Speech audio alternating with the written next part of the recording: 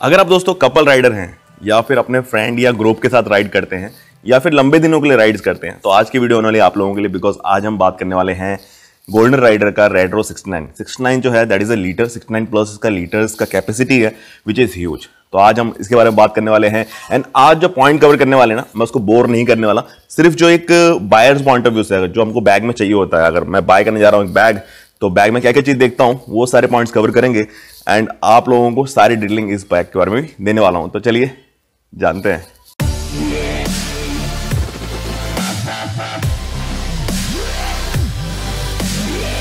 जब भी हम प्लान करते हैं सेडल बैग बाय करने का तो सबसे पहले हम देखते हैं कितना स्पेस हमको चाहिए देन उसके बाद क्या बजट होगा उसके हिसाब से देन इजी टू कैरी होना चाहिए and feature then look and style look and style के साथ कॉम्प्रोमाइज बिल्कुल भी नहीं होता बिकॉज़ वो इंपॉर्टेंट होता है, एक राइडर टाइप फील आना चाहिए, पीछे से भी अच्छा लगना चाहिए साइड से भी, हर एंगल से आपको अच्छा लुक भी देना चाहिए, वो बैग एंड यही सारे पॉइंट्स पे आज इवेलुएट करने वाले हैं रेड्रो 69 को एंड देखते हैं खड़ा उतरता नहीं उतरता है कैसा लगता है? तो यही सारे फीचर्स तक करेंगे एंड स्टार्ट करने से पहले अगर हमने चैनल सब्सक्राइब नहीं किया सब्सक्राइब कर लीजिए नोटिफिकेशन बेल ज़रूर दबाएगा ताकि ऐसी जो वीडियोज़ है ना, आप लोगों के लिए मैं बनाता रहूँ। तो दोस्तों गोल्डन राइडर का रेड्रो 69 को मैंने यूज़ किया हुआ ऑलमोस्ट थ्री राइड पे थ्री लॉन्ग राइड जिसमें मैंने की हुई है।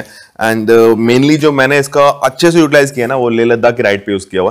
तो अब हम सबसे पहले देखेंगे इसका फीचर्स की मैं आपको क्लोज करके दिखाता हूँ कौन कौन से फीचर्स ऐसे हैं जो आपके बहुत यूजफुल होने वाले हैं। फ़र्स्ट फीचर जो मुझे बहुत ज़्यादा अच्छा लगता है that is a rain cover इसके साथ में रेन कवर आता है वो अट्रैक्टिव लुक के साथ में आता है। तो ये बहुत ही अच्छा लगता है बिकॉज़ आप दूर से ही आपकी विजिबिलिटी जो है ना वो बनी रहती है। सबसे पहला फीचर जो है मुझे पसंद आता है। तो दोस्तों अगर बात करें इसके आउटर मटेरियल के बारे में जो मटेरियल है वो प्लास्टिक हैवी ड्यूटी है जो कि इस बैग को rough and tough and water resistant बनाता है।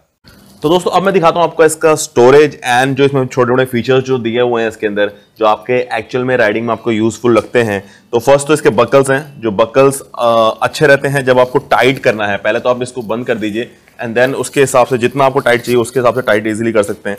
तो अभी तो मैं इसको ओपन करता हूँ पहले। जो फ़र्स्ट जो आता है, ये है। कोई भी आप इंस्टेंट टूल जो है इंस्टेंट चीज़ें आप इस पर ईजिली रख सकते हैं, जो आपको जल्दी चाहिए, आपको पूरा बैक खोलने की ज़रूरत ना पड़े। फिर यहाँ पर एक हुक दिया हुआ है अपर साइड में। तो आप उस हुक में कोई भी आपका गीला कपड़ा है या शूज़ है वॉट एवर जो आप उसको इसमें हैंग कर सकते हैं आप इजिली यहाँ पर एक हुक दे रहा हुआ है। एंड बैग को भी अच्छे से टाइट ग्रिप करने के लिए एक और आपको मिलेगा यहाँ पर। इससे भी आप इजीली इसको टाइट कर सकते हैं। तो दोस्तों, अब हम देखते हैं इसका इनर कंपार्टमेंट इनर कंपार्टमेंट में जब हम चेन ओपन करते हैं तो ये रिवर्स चेन होती है, जिससे कि ये वाटर रेजिस्टेंट बन जाता है। डायरेक्ट पानी एकदम अंदर से नहीं जाता। तो रिवर्स चेन का वही काम होता है। एंड इनर कंपार्टमेंट में आपको क्लोज करके दिखाता हूँ।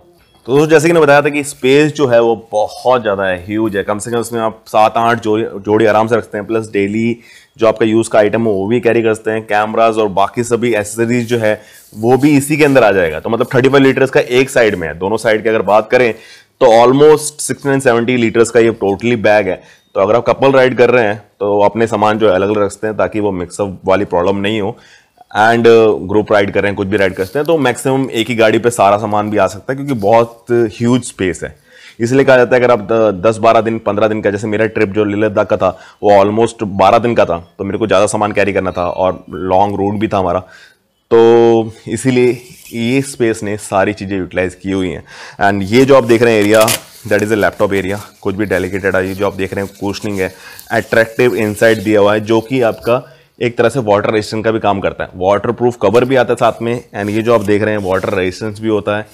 एंड इसके नीचे आपको ये एक हार्ड पैड मिलता है, जिससे कि आपका बैग जो है ना, वो थोड़ा शेप बना रहे उसका।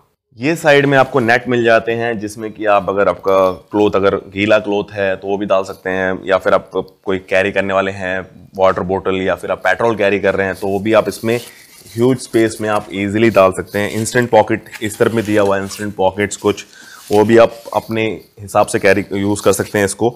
एंड यहाँ पे भी आपका सेम नेट दिया हुआ है, जिस, जिसमें कि आप वाटर बॉटल या कुछ भी ऐसी चीज़ जो है, जो वो सेम इंस्टेंट पॉकेट टाइप का है, आप वहाँ पे रख सकते हैं।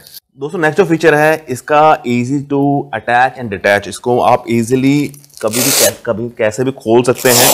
आपको जस्ट ये जो वेलक्रो है, वो खोलना है और ये आप इसको बैग को ईजिली आप कैरी करते हैं। जैसे आप देख रहे हैं, दोनों बैग जो है वो अलग हो चुका है। तो इस तरह से आप अटैच और डिटैच कर सकते हैं इसको। दोस्तों, बैग के बॉटम साइड में मिलता है आपको ये टायर का पीस जिससे कि ये किसी भी रोड कंडीशन के लिए रेडी रहता है। आप इसको rough and tough easily use कर सकते हैं एंड बॉटम साइड में जो प्रॉब्लम होता है ना घिस के फटने का, वो चांसेस बिल्कुल भी नहीं होगा। नेक्स्ट जो फीचर है दैट इज़ रिफ्लेक्टर्स आपको रिफ्लेक्टर दिखेंगे हर जगह पे, ताकि आपकी विजिबिलिटी जो है रेयर साइड से पूरी बनी रहे।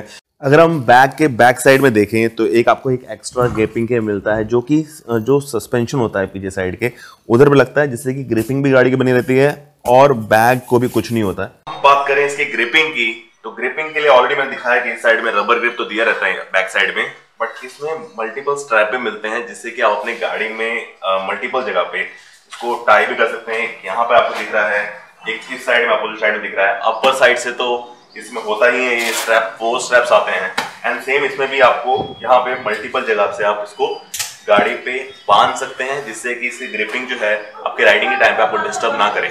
तो दोस्तों नेक्स्ट जो फीचर है, वो उसको कैरी करने का है। आप इस फीचर में आप इसको नीचे से यहाँ, इस एरिया पे आप इसको फिट करिए। ये जो आप देख रहे हैं, इस एरिया में फिट करके आप एज अ बैक पैक इसको कैरी कर सकते हैं, ताकि वो जो अगर थोड़ा हैवी अपने बैग को कर रखा है तो आप इसको एज अ बैक पैक जो है ना, आप दोनों तरह से पहन के आप इसको एज अ बैक पैक भी कैरी कर सकते हैं। तो दोस्तों नेक्स्ट जो फीचर है, वो है अगेन कैरी करने के लिए, और वो है कि आप इसको एज अ साइड बैग भी कैरी कर सकते हैं। कई लोग इसको इंस्टेंटली कैरी करना चाहते हैं तो यहाँ पर स्पेस दे रखा है एंड आपको जस्ट एक हुक करना है इसके अंदर एंड दूसरी तरफ़ भी आप हुक करिए इसको। दोनों जगह पे स्पेस है। एंड आप इसको एज अ कैरी बैग भी कैरी कर सकते हैं। तो वो भी इजी हो जाता है आपको कैरी करने के लिए। अगर अब हम बात करें इसके लुक के बारे में तो आप रेयर लुक देख ही रहे हैं। एंड साइलेंसर से अब कितना ज़्यादा है वो भी आप देख ही सकते हैं। एंड uh, मुझे वैसे विथ रेन कवर ज़्यादा अच्छा लगता है क्योंकि वो फोकस भी करता है दूर से और अट्रैक्टिव भी ज़्यादा लगता है। बट विदाउट रेन कवर भी आप एक बार देख सकते हैं कि एक्चुअल में राइडर फील भी आती है जब आप सैडल बैग के साथ जा रहे होते हैं ना और इतनी अच्छी कैपेसिटी के साथ में तो आपको दूसरा कोई बैग कैरी करने की ज़रूरत नहीं पड़ती है। तो दोस्तों, अब जो लुक देख रहे हैं, वो रेन कवर के साथ में देख रहे हैं मुझे एक्चुअल में ये लुक ज़्यादा पसंद है बिकॉज़ आपकी विजिबिलिटी बनी रहती है दूर से ही एंड लुक भी बहुत अच्छा करता है और ऑल वेदर रेडी हो जाता है। तो ये मेन चीज़ है, और जो यहाँ पे जो स्ट्रैप लगे इंस्टेंट स्ट्रैप जो है, उसको भी कवर कर देता है ये रेन कवर तो इसलिए मुझे ज़्यादा पसंद है ये। तो दोस्तों ऑलमोस्ट मैंने सारे पॉइंट कवर कर दिए inside feature outside feature look जो है इसका विथ कवर विदाउट कवर कैसे आप इसको इजीली कैरी कर सकते हैं? बैक पैक की तरह शोल्डर पैक की तरह हैंड में डिटैच कैसे करते हैं? अटैच कर सकते हैं। वो सारी चीज़ें मैंने आपको कवर कर दी है। दोनों साइड में ही 35 35 लीटर्स का आपको स्पेस मिल जाता है, जो कि आप कैसे यूटिलाइज करते हैं, वो टोटली आप डिपेंड करता है। मगर बहुत ह्यूज स्पेस है बिकॉज़ मैंने लेह लद्दाख राइड पर इसको ऑलरेडी किया हुआ है। गुजरात से लेह लद्दाख जब मैंने राइड की हुई थी इसको ऑलमोस्ट ट्वेल्व डेज़ प्लस का हमारा प्लान था ये राइडिंग का। तो ट्वेल्व डेज़ के लिए इतने सारे कपड़े और प्लस कपल राइड कपल में था तो ऑब्वियसली बात एक बैकपैक ही था मेरा दूसरा एक छोटा सा जिसमें मैं अपने छोटे मोटे जो आइटम्स होते हैं वो रख रहा था और ये दो बैग थे। तो आप समझ सकते हैं ये कितना अच्छे से मैंने इसको यूटिलाइज किया होगा उस बैग को एंड उसके बाद भी दो राइड मैंने इसमें की हुई है बैग्स के साथ में। तो भी ये बैग रफ एंड टफ है अभी एंड uh, कोई भी ऐसा चीज़ नहीं है जब बोल सकूँ कि बैग अब चेंज करना है। अभी भी इसको कम से कम डिफरेंट दूसरे दूसरे राइड्स पे. इजीली मैं यूज़ कर सकता हूँ. एंड अगर आप बात करें इसके बजट के बारे में तो बजट जो प्राइसिंग है इसका वो है three triple nine three thousand nine hundred ninety nine का ऐसा कॉस्ट है. एंड टू ईयर्स की वारंटी के साथ में ये क्वालिटी का बैग आपको दूसरे कहीं नहीं मिलेगा. वो मैं बोल सकता हूँ।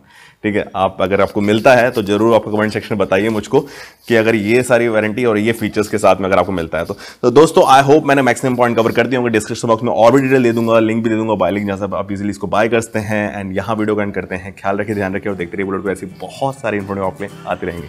बाय